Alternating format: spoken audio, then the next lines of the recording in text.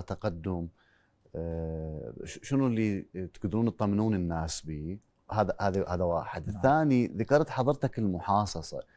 المحاصصة والفساد يعني أصبحتا لازمتين آه، لكل موضوع يفتح في البرامج السياسية والحوارية وحتى آه، نشرات الأخبار، الناخب متخوف جدا أستاذ زياد بأنه أنا راح أروح أنتخب المفروض الناخب يصنع قرار أستاذ سامر شلون نطمنه؟ تفضل طمني. أنا أطمن أطمن الناخب أي. اليوم صار عندنا وعي. أنا أعتبر نفسي اليوم كمواطن. صار عندنا وعي. نقدر نشخص. نعرف الأمور وين ماشية. نعرف منو اللي يقدم. نعرف منو اللي على مستوى المواقف الوطنية. نعرف منو جاي يبني ومنو جاي يخرب. م. كثير من الأمور. مثلا على سبيل المثال محافظاتنا المحررة.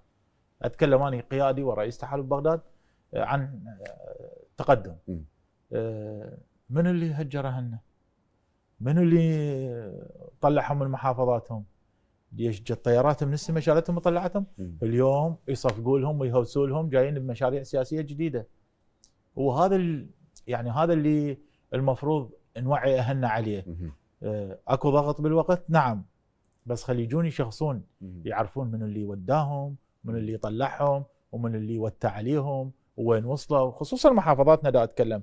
وحزام بغداد والمدائن إذا تجي وتطلع تتحول الكاميرا تدخل وتشوف المأساة الموجودة على كل المستويات إذا كانت خدمية أو اقتصادية أو اجتماعية.